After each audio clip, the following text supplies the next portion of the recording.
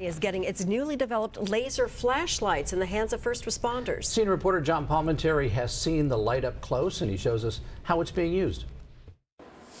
What is becoming the future of light for illumination and communication is being crafted in Goleta using laser chips smaller than a grain of rice. We're taking these special laser chips and we're making extremely bright white light sources out of them that can generate 100 times the brightness of LED for 10 times the range, one tenth the size. The Kyocera SLD laser will have big applications, but you might have seen the efficiency recently, not long after some of the company's flashlights were used by Santa Barbara County firefighters. Recently, there was a car that went over a cliff in, in Isla Vista, and the, the light actually cuts through smoke, cuts through fog and water, so it creates great visibility, you know, enhancing safety and, and really helping uh, in the mission to, to save lives.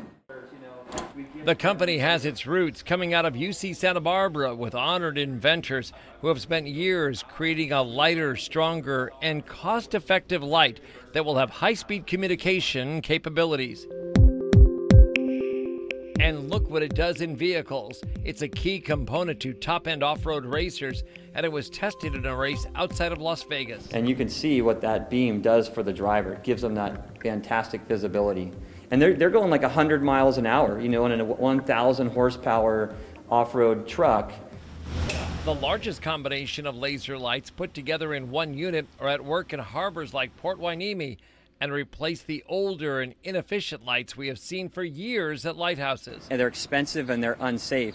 You can replace it with like a 20 pound light fixture that has long lifetime and it's safe. The general public will not only be able to purchase these lights soon in the form of smaller flashlights, but they're expected to be built into the newest smart cars for interior and exterior lighting through tubes and fibers and provide high speed communication for the vehicle's performance, driverless safety scanning, and the driver's personal devices. Well, our light sources can do all of that. They can sense and communicate all in a single, compact, very small, and efficient module.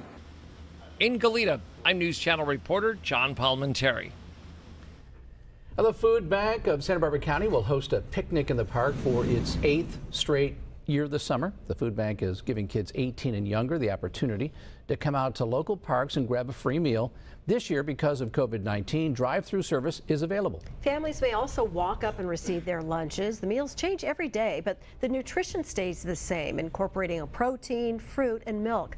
For more information on where to find the closest park with a free meal, text summer food, and here's a number you want to write down 877 877. Again, that's 877 877. Or you can visit our mobile app or KEYT.com.